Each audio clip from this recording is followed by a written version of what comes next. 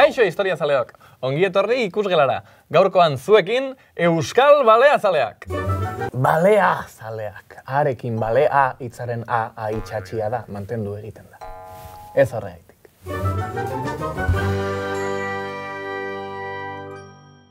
Industriara bideratutako herria garela entzun dugu, han eta hemen betidanik, baino beti izan alda horrela?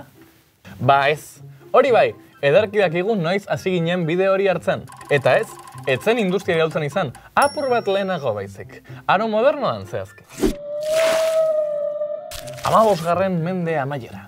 Mundua garai naziak bizitzen ari zen Imperio Otoman darren erorketaren ostean, Txinatik Europara zetak egiten zuen bidea bertan bera gelditu zen.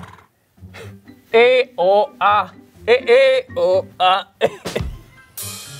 Europarrak Txinara iristeko beste bide batzuk bilatzen hasten dira, eta Ba mundua sekula bizitzan duen zabalpenik handiena barneratu nahian zebilen hartan, Euskaldunak itxaso zabalean zehar zebiltzan balea arrantzan. Eta ez nola nahi, industria jaio berri baten arpoi punta izaten, hasiak baitziren. Ondo ekarria, eh?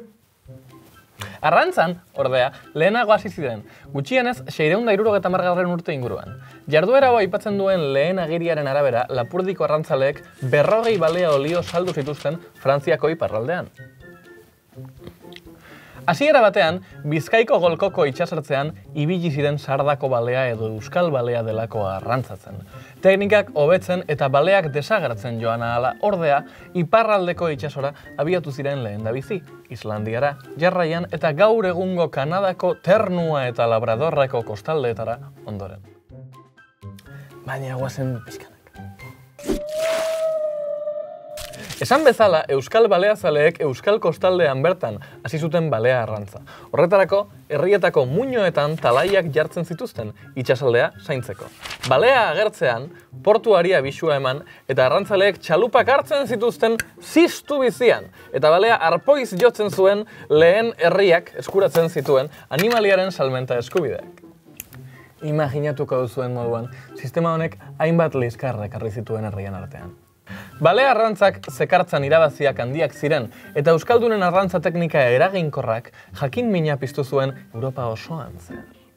Mozkin handiena balearen gantzak sortzen zuen.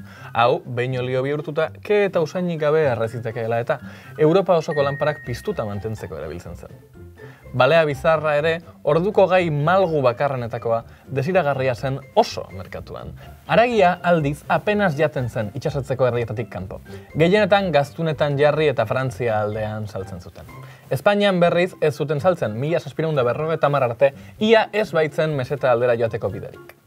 Ezurdura eraikuntzako material moduan erabiltzen zuten, eta baita apaingarriak edo altzariak egiteko ere. Merkataritza hark Euskal Herri osoan zabaldu zen industria baten sorrera ekarri zuen. Itxaso zabalean hogei metroko basapizti bat, arpoiz eta txalupa batean igota izatzea, ez zen bat ere gauza erraza. Hori dela eta Euskaldunen teknika famatua egin zen Europa osoan. Tira, teknika baino bere eraginkortasuna, teknika bera sekretua baitzen. Euskaldunek ingeles eta herbeera tarrei erakutsi zieten dirutruke, baina Espainiako erregea ez zen bat etorri erabaki honekin. Hori dela eta teknika erakustea debekatu zuen eriot zigorpean. Bruce Lee kung fua mendebaldarrei erakusteagatik gertatu zaion berdina gotxe barbara.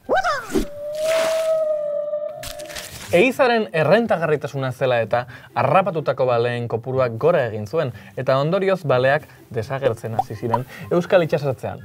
Hori dela eta arrantzarako mugak ere jarri zituzten. Honek arrantzarako leku berriak bilatzera eraman zituen Euskal Baleazaleak. Horretarako itxasartzean nabigatzeko erabiltzen zuten kabotaje teknika hobetu behar izan zuten. Teknika hau bera da bakailaua arrantzatzeko erabiltzen zutena. Honen arrakastak Islandiaraino lehenengo eta ternuaraino ondoren eraman zituen.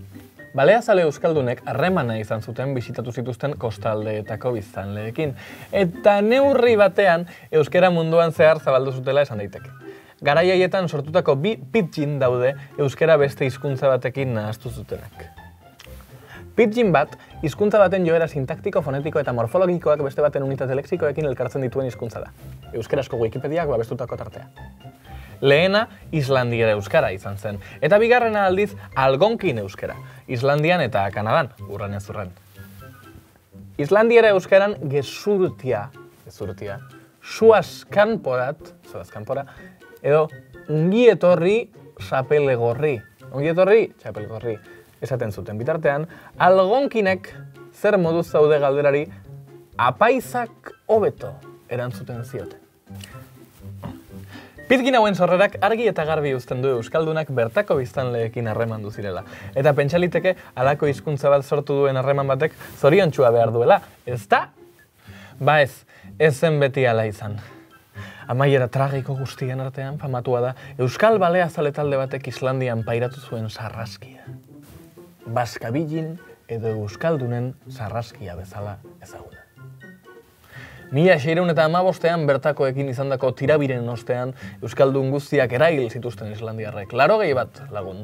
Izotz eta suaren herrialdeak ondo gogoratzen duen gertaera da bere historian gertatutako bakarra izan baita. Zerbait egingo ote genien. Gertakari krudela udela eta eta legea aldatu zuten arte, Euskaldunak garbitzea legezkoa izan da Islandian 2000 eta amabosta arte, eta hau ez, ez da broma.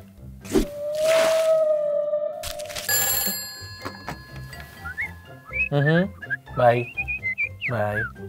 Oh. Bai. Vale. Vale. Baleen inguruan industria oso bat sortu zela ipatu dizuegu hasieran. Eta horrela izan zen baleak kostaldeko gizonek arrantzatzen zituzten, baina hori posible egiteko gizon eta emakume samalda bat lanean aritu ziren kostalde zein barnekaldean gau eta egun itxasontzi zein txalupak eraiki izateko, baso ustiak eta ugari izan zen urte haietan. Nola ez, ontzigintzak berak ere lanpostu ugari sortu zituen, teiagintzak bezalaxe. Hori gutxi balitz, Euskaldunon arrakastaren arrazoi garrantzitsuenetako bat izan zen zagardoaren ekoizpenak ere, familia askori eman zion jaten. Zagardoa? Ezinbestekoak. Kaixo, Daniel naiz eta hause da nire ezinbestekoa Euskal Balea zale bat izateko zagardo botila bat. Urte haietan itxasoan zehar bideia luzeak egitea eragosten zuen arrazoietako bat eskorbutoa zen. Marinelak gaixotu eta bidean hiltzen ziren, kupeletan eramaten zuten ura kutsatu egiten zelako. Euskaldunek ordea, zagardoa eramaten zuten kupeletan uraren ordez. Lanak amaitzean itxasontzia balea gantzaz beterik itzuliko zenez, pixua orekatzeko milaka litro zagardo eramaten zituzten kupeletan kondairak dio sagardoa gainera eskorbutuaren aurkako sendagaia zela, sagarraren C vitamina dela eta. Kontua da, C vitamina hori desagertu egiten dela, sagardoa egiteko prozesuan.